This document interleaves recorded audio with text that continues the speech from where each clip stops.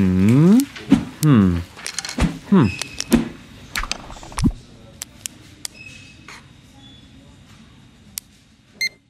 Evo nalazim se ispred kluba Zona gdje je naša iduća gošća na strip radionicama, na radionicama crtanja stripa e, započela svoju karijeru ilustratorice, karikaturistice e, i danas dolazi tu na isto mjesto kao naša gošća. U međuvremenu je dobila brojne neke nagrade, kojih je recimo nagrada jutarnjeg lista za najbolju mladu karikaturisticu iz 2019.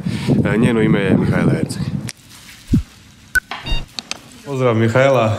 Pozdrav Tomo. si dobro? Jesam. E, Puno zauzeto, a? A zauzeto jesam, ali to, ono, to bolje biti zauzet nego ne zauzeto. Da, da, da. Kaže, ako nemaš, ako nemaš šta raditi, cijeli dan samo misliš, jel? A to je još najgore, ono, to... E, ovdje smo se i upoznali, jel tako, u klubu Zona, na radionicama stripa. Tako je. Ima već tome, ne znam, nije koliko, sedam godina, jel? Tad si imala, šta smo rekli bili, petnaestak i krenula si tek u svijet stripa i, i ilustracije, sad si zadnja godina animacije, a, kažeš negdje u nekom intervju da profesori animacije ne vole baš strip, jel? Evo sad kad ovo budu gledali, ali ne to je ono, od sve skupa, od čitave akademije ima sve skupa možda troje profesora koji voli strip. A zašto ono. vole strip? Oni samo slike se moraju micat, ne smiju stati. Ja ne znam, strip je uvijek nekako se gleda kao neka ono, manja, manje vrijedna disciplina umjetnosti. To kao nije prava umjetnost. Ono. A ko će ga znat ono? E. To ljudi dalje misle da je strip ono cowboy indijanci, da je to... da je to Zagor, je to sve što stripa postoji, ono. Mislim, imaju ljudi te predrasude. Ja sam isto imala te, ono, prije 7 godina, davno je to bilo. Onaj, te predrasude o tome šta je strip, ono. Meni je to isto bilo ka neki super heroji, ovo, ono. To, i onda sam došla tu kod Svagija i tako sam počela crtati stripove, baš tu u zoni, ovaj, mm. to... I među vremenu si shvatila da je strip e, puno različitih ovaj, stvari, između ostalog i grafička novela i šta sve ne. A tako, strip je samo mediji izražaja, ono, kaj sve ostalo u stvari ovisi o tome, o čovjeku, šta će napraviti s tim jednim medijem. Ono, strip je kao abeceda samo ono, u slikama.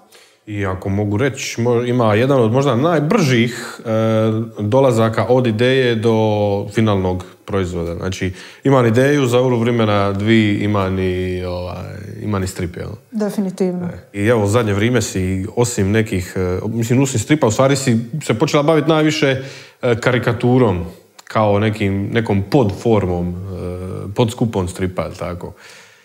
Počela si raditi dnevnu karikaturu na, na Dalmacija danas i ovi pothvat zanimljivi sa kalendarom. Uh, ok, ajmo prvo početi od ove, od ove dnevne, dnevne karikature. Uh, nisi nikad političku tematiku, ili tako, obrađivala? Nikad. Ne, ne sviđa ti se politička karikatura, a? E, nisam ovaj, u stvari ja e, nemam šta raditi s tim, ono, jednostavno to ka nije moj džir, ono, ovaj, tom politikom nek se bave ljudi, ono, kojima se s time bavi. Ove, ali cijelo vrijeme kao slušamo upravo o toj politici, ovome, onome, ali to nije sve što bi trebalo biti u jednom medijskom prostoru. Ono. Mhm.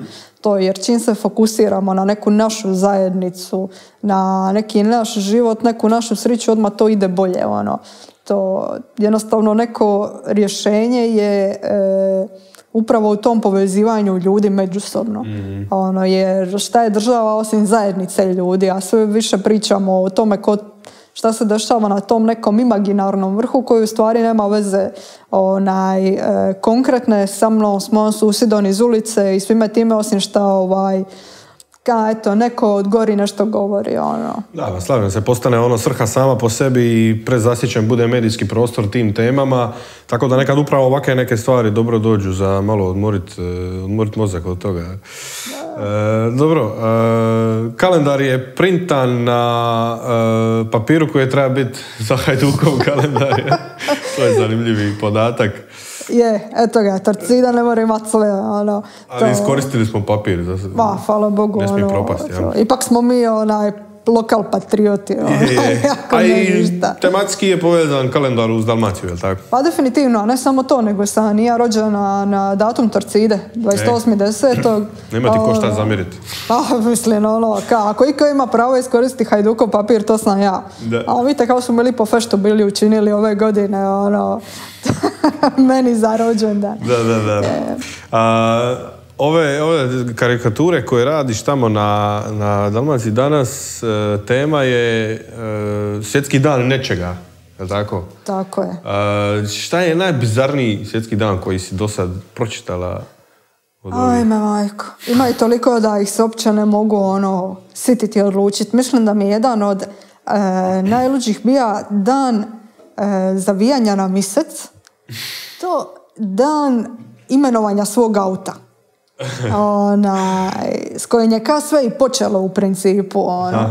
To jer ta čitava rubrika je počela kad smo ja i Čača bili ono jedno jutro na kavi. Ono, ka i svako jutro jer smo ono i mi ti jebete spličani šta se ide okolo ono tri ure. Su ono i samo smetaju svima.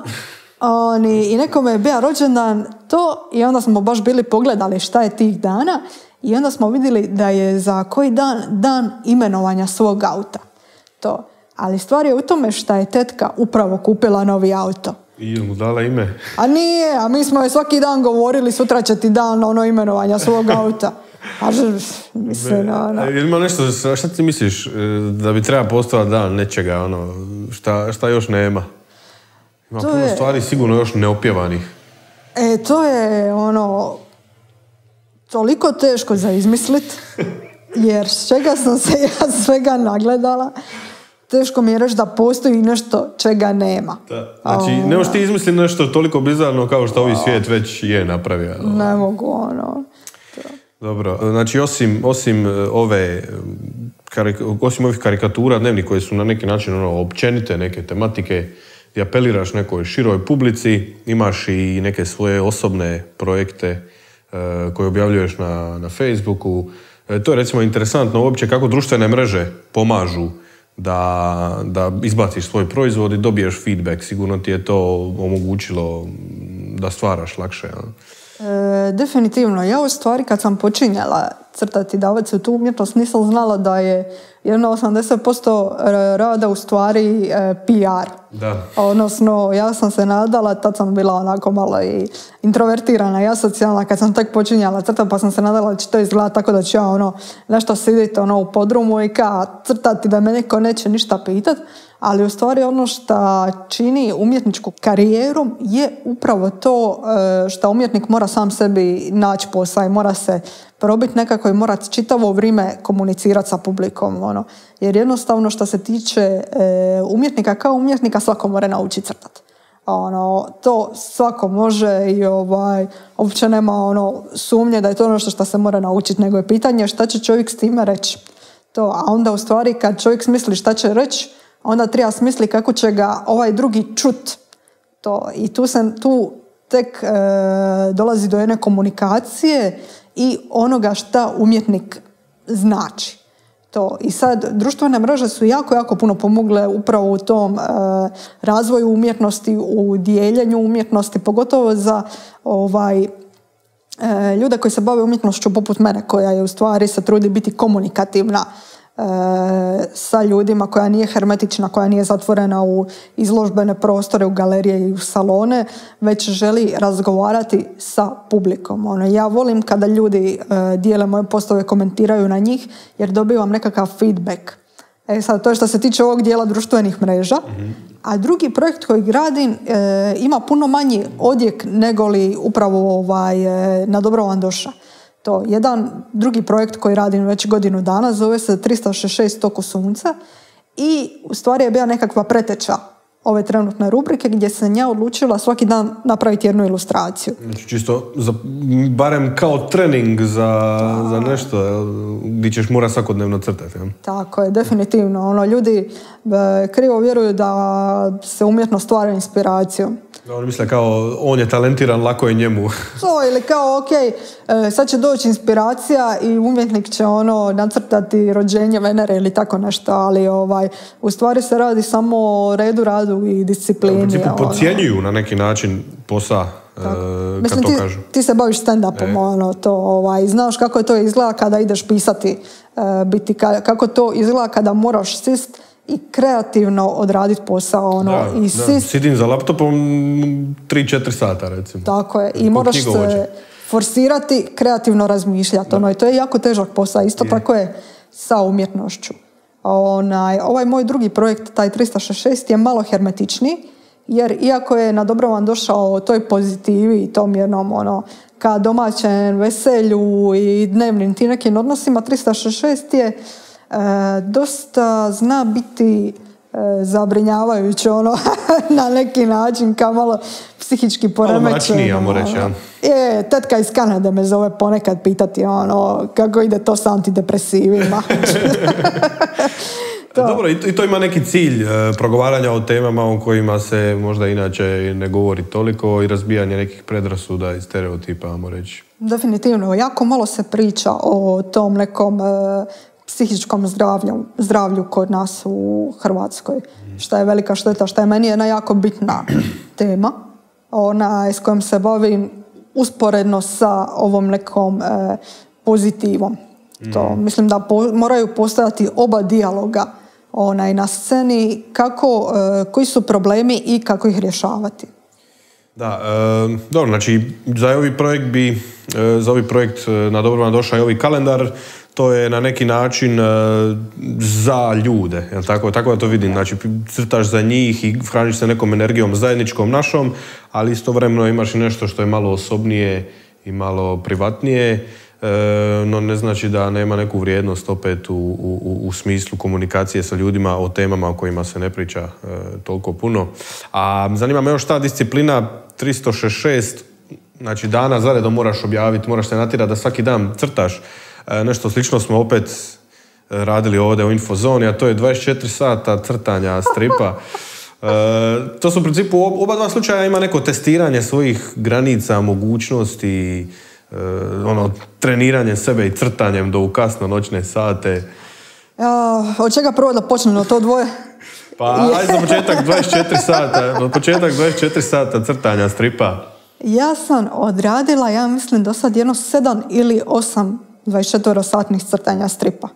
Ovo, e, ova 2021. je prva godina di sam ga preskočila. E, E, Ne dva- 2021. 2020. 2020, Prva e. godina da sam ga preskočila jer je bila e, korona. Mhm. To i nije mi se više dalo ono siditi samo i kad do šest ujutro. Ono. onako je takav svaki dan. A, Kada. što mislim, ono, kako se to razlikuje. To, ali sam do sad odradila jedno 7-8 tih onaj, crtaža, tih crtanja stripa 24 strane e, i to je nešto šta bi svaki umjetnik treba jednom odraditi. To ne zato da testira dokad on može ovaj, ostati budan, nego zato da vidi da kad sidne i počne raditi da on to može završiti. Da. A druga stvar, zašto bi on to mora naučiti e, raditi je to zato jer kada ovi vidi idućih ono nakon njeno 15 dana koliko je to loše to zna da može odraditi nešto u jako malo vremena da to bude gotovo i kasnije to pogledat na jedan drugi način. To, odnosno kad se, e, ja sam nedavno napisala i roman.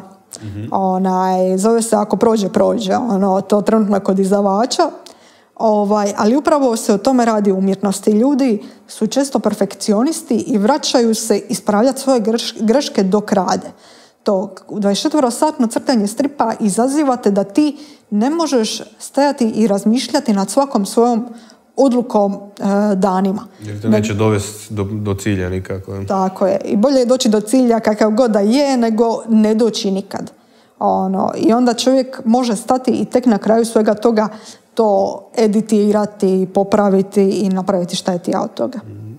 A ovaj, mislim, ovo tri- 366 dana oko sunca, kada moraš e, napraviti 366 karikatura, na neki način si isto nabivaš pressing, da zadaješ si rokove. I ako se ne varam, e, strip crtači, njihov život upravo izgleda takav da imaju neke rokove i da često zamijene dan za noć ovaj, u, tom, u tom poštivanju rokova. Jel kod tebe to tako izgleda taj... Rokovi su najbitnija stvar u umjetničkoj karijeri. Ne postoji niti jedna bolja invencija od roka. Inače se nikad ništa ne bi završilo. Da, e.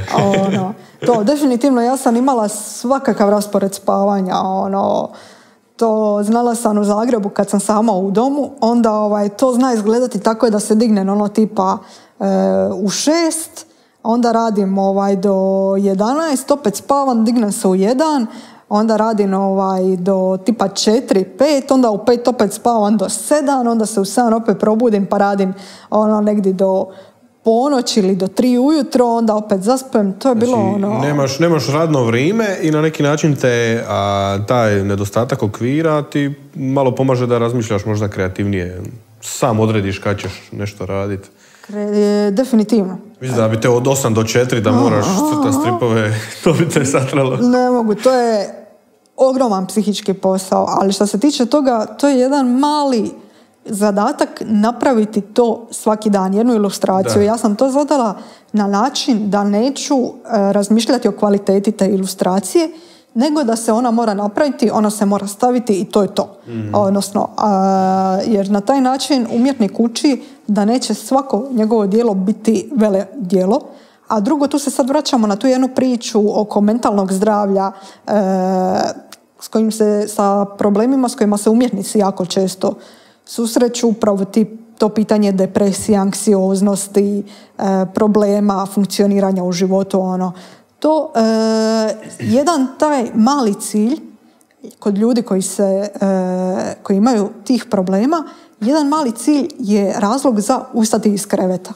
To. Ono, imala sam ja tu neke epizode ono kada ovaj, to imam urluke i sve i svašta sam imala.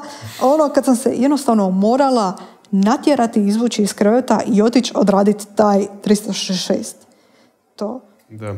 Znači, zadala si sama sebi, sebi obavezu i svrhu i onda te ona e, motivira da se bar malo pokreneš, ja? Tako I kad napraviš sigurno se osjećaš e, korisnije. A, ali eto, onda e, u principu taj rad umjetnički često izgleda radiš sam, radiš po noći, e, ne znam, nemaš, nemaš kontakta socijalnog možda s vanjskim ljudima, znači da onda karantenu nisi baš ni osjetila, jel? Ja nisam imala pojma da se dešava. Bilo mi je drago što me više niko ne može nigdje zvati u stvari. Ono. No. A to je jednostavno šta da kažem, ja ne, ne bih za sebe rekla niti da sam neka previše introvertirana osoba, niti previše ekstrovertirana, nego sam negdje baš između, ono, to imam taj neki limit ljudi i onda volim kada mogu e, kroz taj neki umjetnički rad samoj sebi odrediti tu neku dozu e, i raspored e, tog nekog ljudskog kontakta. Mislim da jako puno umjetnika ima upravo taj e, jednu potrebu za samoćom jer se u toj samoći ovaj razvijaju ideje, čovjek priča sam sa sobom, čovjek kreira ono to, ali isto tako oni koji zapostave komunikaciju među ljudima koja generira ideje i do koje se dolazi do novih ovaj spoznaje otkrića, to i sam znaš putem stand-upa, ono koliko toga se ne bi desilo da nisi bio ono u društvu Da, sa ekipom i priča. Odnosno, umjetnici često e, zanemare jedan od ta dva svijeta. To i onda tu dolazi do nekog problema u kreaciji. E, kad si previše odvojen od e, stvarnog svijeta, onda ne možeš ni možda stvarati nešto što bi apeliralo za ljude ovaj, u, u tom svijetu. Nedavno je u Rijeci bila neka izložba, e, ne znam je li to, mislim, zadnjih mjesec, dva ili nešto tako, e, domaćih strip autora, među kojima si ti sudjelovao kao predstavnik nove generacije, mlade, koliko to zvuči malo možda ovaj, pompoznije nego što je, ali e, ti znaš ekipu sa scene domaće, kakva, je, kakva je scena stripa u Hrvatskoj generalno? Strip e, se trenutno nalazi na odličnom položaju. Odnosno, mislim ne na odličnom, ali se nalazi na odličnom položaju da jednog dana bude u odličnom položaju.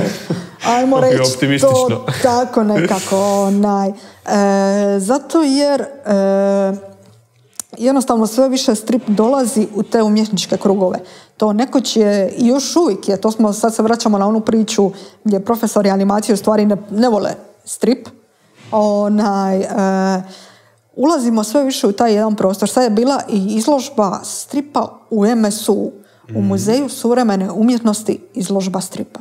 Da. To je fenomenalno, ono. Strip je upravo suvre- suvremena umjetnost na neki način. Definitivno. Do sad nismo bili niti umjetnost, ali sad smo bar eto ga, suvremena Znači za još sto godina bit ćete klasična umjetnost. A jedva čekam, to.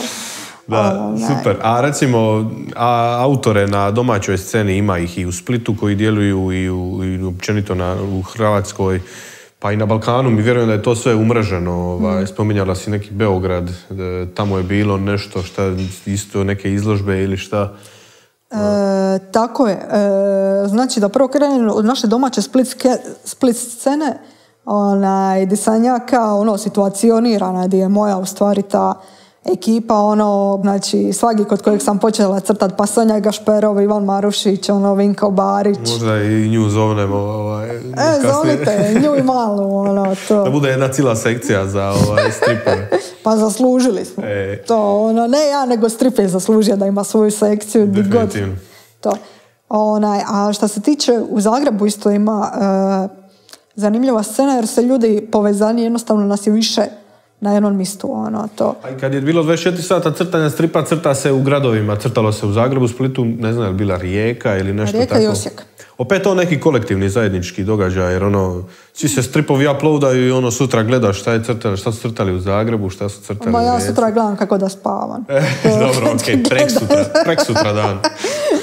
Onaj, e, da, to, e, taj event je odličan za umreživanje. Ono, postoji, ima nešto lipo u tome šta ljudi kao crtaju skupa pa izađu vanka na push pauzu pa onaj, malo pričaju, malo popiju i tako to, ono, da ne idemo sad u to. Onaj, zato mi se e, zato mi se i nije dalo ove godine Kad nema toga, kad e, je- onda ono, nije neki to. događaj. e. To je lipo. Mi smo bili skupa crtali na tim 24 satnima. Ja i ti. Je, je, je, crtali smo dva, tri, možda dva, tri puta, ne znam, ovaj...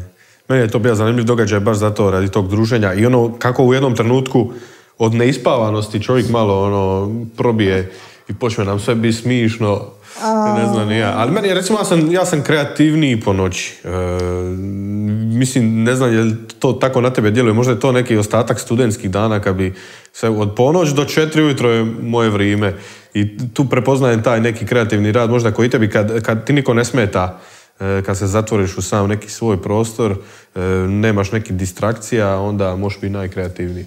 Ja e, sam tako nekoć Ej. radila, nekoć sam bila jako noćni tip, ono, uglavnom zato jer ovaj, tek tad nije bilo nikoga ko mi smeta. I onda sam tipa na trećoj godini faksa sam se morala digniti ono ujutro prije nekog predavanja nešto isprintat. Aha. To, I onda sam se digla eto jednog dana u šest ujutro, to je onda sam shvatila, ajme, ovo je divno. Propuštam puno, jel? Ovo je divno, znači ujutro se digneš, popiješ kavu, nigdi nikoga, ono, prvi si u kafiću, niko te ništa ne pita, niko nigdi ne viče. Ono, tako da sam od tada u stvari više zavoljela jutro. To sad bih možda čak rekla da mi je najkreativniji dio dana onako od 9 ujutro pa do možda podne. To i onda kasnije, ovaj, noć mi je sad više postala za dovršavanje stvari. Ono, to. Dobro, Znači to je naj, naj, možda najveća vrijednost e, kada, kada imaš svoj, e, svoje raspolaganje s vremenom da definiraš sam kad će tebi biti kaš radit, kad ćeš, ne znam, kuvat ručak, šta već drugo. A, e, da se vratimo na ove tvoje, e, tvoje karikature malo osobnije, negdje si navela da je to Snoopy Džir, e, referirajući se na ove e, s- strip e, Snoopija, kako se točno zvao, Peanuts, zaboravio sam. Bilo je Snupija. Da, da, da, imam čak i tetovažu Snupija tu Aha. na nozi. On ti znači Ovaj, toliko da si ga istetovirala. Na... a, ono, to, to mi je neka ženska ovaj, Šta, šta misliš pod time da je to taj Džir stripa? E, Snoopy i sve te pasice su uvijek bile i Calvin i Hobbes i E. sve to, to je uvijek bilo e, na neki način pozitivno, simpatično i uvijek filozofsko. Da. To je jedna jako zanimljiva e, stvar gdje su se svi ti crtači tih pasica mogli poigrati s tim nekim malim smišnim likovima da kažu ono nešto odraslo kroz njih, ono šta i je dovodilo do tog nekog humora i ovaj apsurda. Ljudi nekad baš percipiraju možda Snoopy i te stripove kao nešto za, za dicu, a u stvari, u stvari nije. Jel? E, nije, u stvari je to za ovaj odrasle koji su dica. E, E, odnosno... tu znači za se- umjetnike. za stripaš. Ne za konceptualne. Šalim se. Ali ovaj, e, volim progovarati o tako tim nekim, možda čak i ozbiljnim temama kroz nešto što je ipak duhovito i simpatično, da čovjek to ono može probaviti. To ne samo čovjek jer sam ja puno pametnija od njega, nego da i ja samoj sebi mogu objasniti te stvari. Ono, nisam ovaj Dostojevski, pa sam... Da. Ne, meni se sviđa taj, meni se sviđa taj pristup i taj, mm, ta vrsta inspiracije. E, I mislim da je dobro zato što ti omogućava neku svestranost, jer strip je samo jedan od formata, jedan od načina na koji možeš to napraviti. A ti e, to isto možeš napraviti kroz više različitih stvari kao što i radiš. Rekla si da pišeš roman, e, to je da si ga već napisala, tako? Pišem novi. Aha, pišeš još jedan. O, znači, kad će biti 366 strana u godinu dana. To je, do- to je dobra, to je dobar projekt. To moram priznati da je to dobra ideja. E, ovaj, ne, čini mi se da taj neki pristup, eto toga što se nazvala Snoopy žir, omogućava da, da možeš biti kreativan na, na, kroz razno razne formate. Jedan od tih je recimo strip, drugi može biti i, i, i kratka priča ili roman. E, kroz sve to ti se provlači humor, jel tako, u tvom, u tvom slučaju. Šta za tebe znači taj humor, e, u, u, umjetnosti? Humor u umjetnosti. E, ja ga volim zato jer e, volim nekako onaj, doživljavati stvari realističnije. To nisam niti optimist, niti pesimist, nego sam negdje između. Onaj, jednostavno na neki način e, kad vidimo šta se sve loše dešava, ono čovjek se mora ili smijati ili plakati, a bolje da se smije nego da plaće. Ono.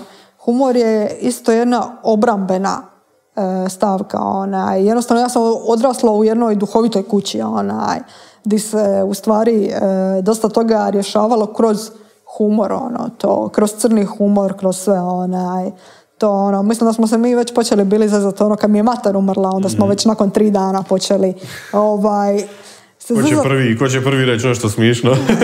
E, jer jednostavno to je neki način na koji se čovjek nosi sa stvarima u životu. Ono, to je jedan, jedna zdrava ekspresija po meni. Da, možeš i u principu kroz e, humor autoironični gdje sebe stavljaš u, u, u, u fokus šale, možeš ovaj, progovarati o nekim opet svojim osobnim stvarima i koristiti to kao neki, neku terapiju. Jel? Definitivno. Ono, čovjek e, se treba naučiti ne shvaćati previše ozbiljno. To, zato jer ako se shvaća previše ozbiljno, svi njegovi postupci mu postaju e, jako važni i jako teški. Ono, I onda sam sebe e, na neki način omaloža- omalovažava ili krivi za razne postupke kada jednostavno ne shvaća da na ovoj planeti od koliko 7 bilijuna ljudi Ljudi svaki dan rade slične greške, svaki dan griješe u nečemu i sve, ali sam sebe stavlja na neki uzvišeni postulat. I humor, i autoironični humor je jedan način da se tog postulata riješi. Zvuči kao neka filozofija kojoj je e, himna e, Always look on the bright side of life od Monty Pythona. Je, ja sam veliki Monty Python fan. Da, znam, ja isto. E, dobro, ali eto, taj roman šta si, šta si rekla da sad je već u izdavača, šta to znači u izdavača je? Čitaj, čitaju ga, jesu ga prihvatili, jel će ga izdat? Imam izdavačicu. To, znači to trenutno, sad ne znam kad će se ovo puštat, ali ja se nadam da će to biti u vrijeme kad će roman već biti ovaj ono na kiosku sa tiražama od 200.000 komada i da će to svako nositi u džepu. Ono. Da će biti popularniji nego kalendar. ono. A, definitivno. Ona. A gdje je on, gdje je taj roman smješten e, na ovoj liniji od nečega općenitoga za narod i nečega osobnoga kao što su ove tvoje Roman je definitivno za narod. Za narod, ja? To, odnosno- A ima li malo ovog osobnog nekog ili? Ima. Ima, ima definitivno. E, Jednostavno, čovjek ne more pobići sam od sebe. Ono. To je kao taj jedan roman gdje sam isto ubacila te... e, to je u stvari e, ro- roman vedrog duha, to je humoristični roman. Ono. To radnja je tu u Splitu, dva lika pokušavaju namaknuti neku lovu, ovo, ono, klasična splitska priča. Mučke neke, jel? A otprilike tako nekako. To, i, ali naravno da se u sve to e, jednostavno provlači taj neki moj vječni ono, ka, nije ovo kada Stojevski strah od smrti, nego jednostavno nešto što je u svima nama. Odnosno, t, nije to neka Dostojevska filozofija, ali slično je u stvari tim mojim stripovima. Ono, te neke mračne teme Malo se... egzistencijalistički, jel? barem malo. a? Malo kao Pythonovski. E. Ajmo reći, ono, malo Pythonovski. ono. Koliko misliš da ima perspektive pisac? U- Koliko misliš da uopće taj oblik književnost danas e, ima e, e, publike? U današnje vrijeme gdje mi se čini da se sve manje i manje čita Premalo, premalo. Jel? premalo. Ali roman je vjerojatno koji je ono, nije, nije 400 strana kao ne znam, Pa ne, zločin i nije. kazna, nego je pitki, jel? Ma definitivno, to je ono koliko, 100, 150 strana ga ima. Ono, I prored 1.5. ono, da, da, kad za fakultet da piše, ono, ono, i font 20. Nije, ali ovaj, jednostavno, e, to, to, nisu to krležijanske rečenice. Da, da, razumijem. To ono koje smo navikli. Govor nije više manje jezik. A mislim, ono, to u stvari ja to pišem kako ja pričam, ono, Da, kao po da. splitski. Ovaj. Roman je u Splitu uglavnom zato jer se meni ne da to ispravljati. Ovaj. Najviše radi toga. I za takvu je publiku. To, ali ovaj, e, iako roman možda nažalost gubi na e, toj nekoj čitanosti, što je meni jako ža, e, vidimo da svijet sve više i više ide prema pričama. Odnosno, pričanje priča je jedna disciplina ljudska koja je tu od svijeta i vijeka, to je ono što nas je u stvari učinilo ljudima, odnosno taj Misliš da će se to izgubiti u vrijeme e, sada kada se zatvaramo opet si doma, neće se možda više događati. Mislim, možda se neće izgubiti to pričanje priča, nego neko pričanje priča uživo. Hoće li se to izgubiti? Apsolutno ne. Da pače. Mi sada, kada su se ljudi zatvorili u kuću radi korone, šta su prvo radili? Upalili su Netflix. E. Ogledali su sve serije koje su mogli, torrentali su sve filmove koje su stigli, poslušali su sve i svašta. Ljudi se sada okreću pričama. To. Jer jednostavno e, dolazimo u doba te neke modernizacije, e, industriali- industrijalizacije, tog jednog fizičkog rada, to da sve više idemo e, prema nekoj entertainment, industriji koja ima svoj život. Ono, ona ide od e, američkog mainstreama koji postaje ljudima sad dosadan pa se vraća u alternativu. I tako će se igrati taj ping pong kao što se uvijek igra u povijesti, umjetnosti i književnosti. To, ali ljudi sada imaju pristup jako velik pričama i priče imaju e, jako velik pristup ljudima. To i trenutno ja sam optimista po tom pitanju da će za priče, e, stripove, filmove i knjige uvijek ostati vremena i uvijek ostati mjesta. Da, e, evo baš to pričanje priča je na neki način e, taj light motiv između svega, to jest mislim taj, taj kamen temeljac u svemu tome što radiš, bilo da je to strip, bilo da je to roman, znači više te privlači kreativni dio, pisanje scenarija, razvijanje ideja, nego ovaj tehnički dio e, realizacije toga. E, znači, ilustracija ili animacija bez scenarija bi bila samo taj neki tehnički aspekt, ali ono što tebe u stvari zanima je pričanje priče, jel tako? Tako je. Ja više volim stajati iza kamere, iza ovaj, crtačeg stola. Da. To imam e, na akademiji. Postoje fantastični likovnjaci. Ja nisam likovnjak. To. Ja sam crtač. To je istina. Ali e, toliko ljudi, ono ima toliko toga za reći s tim svojim e, slikama, likovnim znanjem, da se ja ne mogu mjeriti s tim. I to je nešto što ja iznimno poštujem. Ono, to. Ja sam ipak ovaj drugi spektar koji više voli... e, Tebe crtanje zanima baš zato što lako možeš prenijeti e, priču na papir, otprilike tako nekako ono. A dobro, s obzirom da te zanima pričanje priča, okušala si se i u stand-upu, tako? Kako, je to u odnosu na sve ove druge, sve ove druge formate? Ima li tu neke sličnosti sa time i karikaturom i stripom, recimo?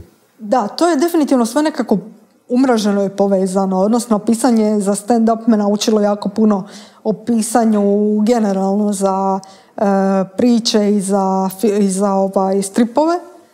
To, meni se stand-up jako dopao u, upravo u tom razlogu što ovaj, ima tu komunikaciju s publikom.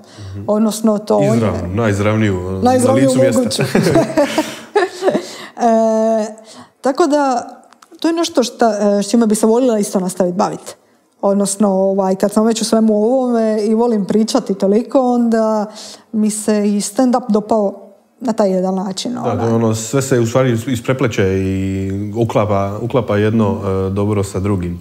A evo, nisam ovu knjigu još nešto, nisam puno zagrebao, krenio sam prvu, dvi, tri, prve dvije, tri stranice, pročitao sam oni mali jedan uvod e, o Briškuli. E, znači, go- progovaraš o, o problemima e, studenta u Zagrebu koji dolazi i niko u Zagrebu ne zna igra Briškulu, je li tako?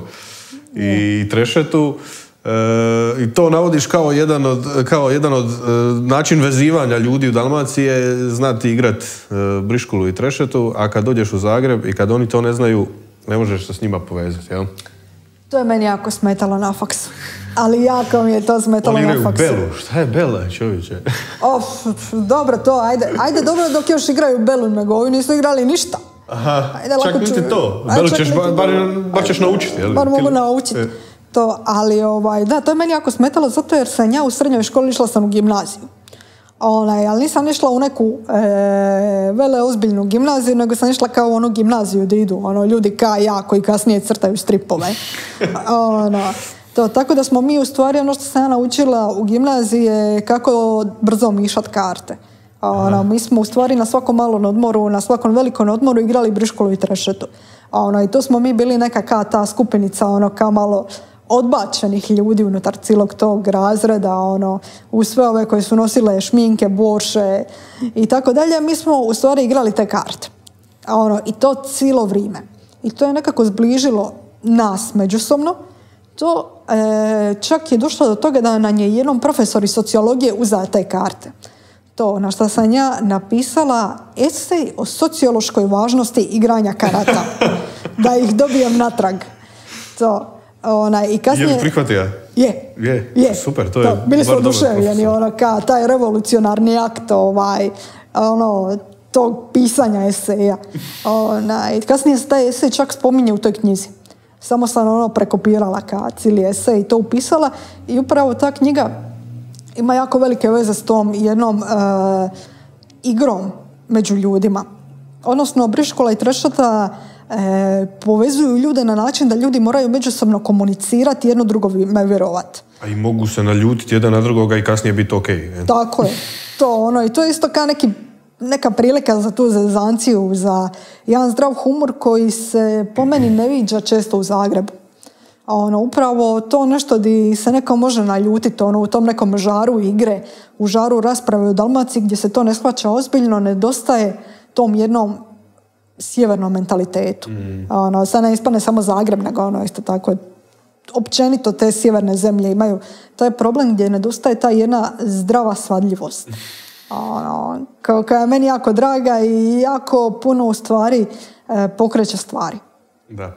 Dobro, mislim, di- dio toga je mm, regionalan, a dio je jednostavno do sredine. Zagreb je velik grad, pa se možda gubi nešto što postoji kod, e, kod manjih gradova i manjih sredina. A evo, ti si kao student u Zagrebu, e, koliko je se teško prilagoditi, ja recimo sam studirao u Splitu, koliko je teško prilagoditi se ne samo na život samostalan, bilo da je u domu ili u iznajmljenom stanu, nego na novu sredinu, na Zagreb, jednom studentu iz Dalmacije. Kolika je komunikacija studenata drugih iz, iz Dalmacije, e, koji su problemi s kojim se susrećeš kad dođeš e, u Zagreb?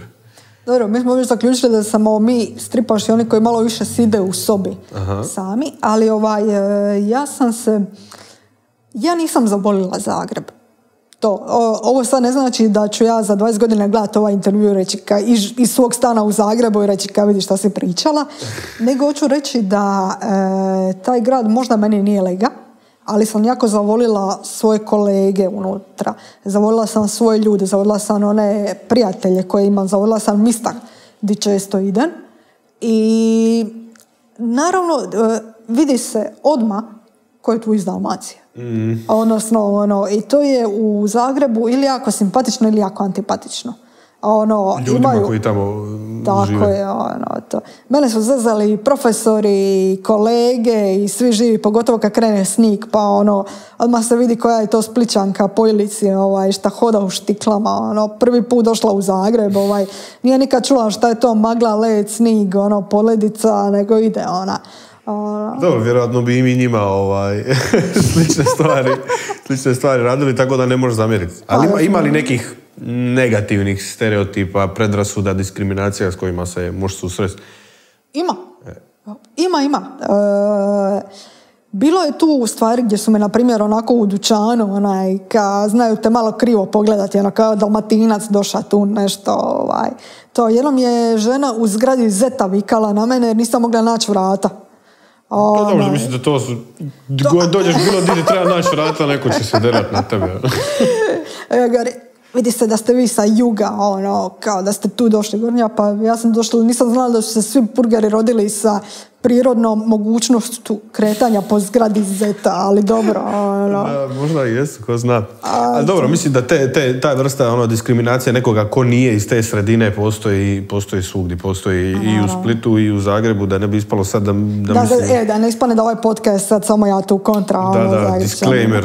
disclaimer, nismo, ne, nismo Ne, ovdje sigurno, rasisti. postoji, ono. postoji toga i ovdje, samo evo ti, ti možda to osjetiš na svom nekom primjeru e, kao student u Zagrebu, a druga stvar je ono odseljenje iz svog rodnog grada koji ti ne pruža dovoljno mogućnosti, di moraš otići negdje drugo zato što su tamo mogućnosti. A to bi u ovom slučaju Zagreb, jel tako? Znači, mnogo mladih ide gore na studije, ovdje e, dolaze studenti iz, ne znam, Zagore, Hercegovine, ne znam nije odakle. Onaj, to, to što Split radi svojim stanarima je velika tuga. To, ja to govorim kao osoba koja je odrasla cijeli život u Spinutu. Ono, ja živim iznad Plinarske. Znači ja živim na najidealnijoj lokaciji u Splitu što more postojati. Ono, jer sam 5 minuta ispod Marijana, 5 minuta iznad grada. Onaj, tako da sam ja, dobro nisu moji fetivi, ali eto ja kada jesam, ono, umalo. E, jednostavno, neko će u Palači bilo toliko toga namijenjeno za građane ovog grada. U Plinarskoj su bile dvije ovaj, e, papirnice, bile su knjižare svugdje po gradu. Ono, bilo je razloga zašto otići u grad i sad se sve to pretvorilo u apartmane. Ono, ljudi se iz ovog grada guraju van. Ja politi ne idem u palaču jer šta ću dole ići, ono, ide nja, sko- pregazi me kolona japanaca, ono. Neka njih, ali ja bi kao isto prošetat po gradu, ovaj. grad da ima sadržaja za ljude, a ne samo za, ovaj, turiste, za turiste. ono, osim toga i mogućnosti neke, nedostaju mogućnosti ti kao nemaš studij animacije, na primjer, ali ti kao strip crtač, da li misliš da je lakše uspjeti u Zagrebu ili negdje nego u Splitu ili ne samo kao strip crtač, nego kao bilo šta drugo? Definitivno tamo gdje je više ljudi je i više konekcija. To samo što je e, problem što ovaj grad ne potiče ljude da otiđu tamo gdje je više znanja, gdje je više konekcija, stvore te konekcije, uzmu I to se znanje i vrate se vamo. Točno tako. To što se mene tiče, živjeti u Zagrebu, ja, e, meni je tamo malo ladno, malo mi je mračno, malo mi je puno sniga i malo mi je puno magle i malo mi je puno kiše. To sad ja ne govorim kontra Zagreba jer mi se pari da samo o tome pričam za njih, ono, 10 minuti, ali ka nije to tako, ono, kao ovaj, nisam e, anti, nisam zagrebofobna, to, nego više volim u stvari sunce i to. i ovaj, navikla si na to. A, ono, lipše je nekako. Da. To, tako da ovaj, bih volit da mogu se vratiti sa svim tim znanjima i ovdje nekako pomoći. To jer imamo suludo puno mladih talentiranih ljudi, imamo suludo puno mladih ljudi koji žele učiti, ali ih e, ta jedna sredina ne potiče dovoljno u tome.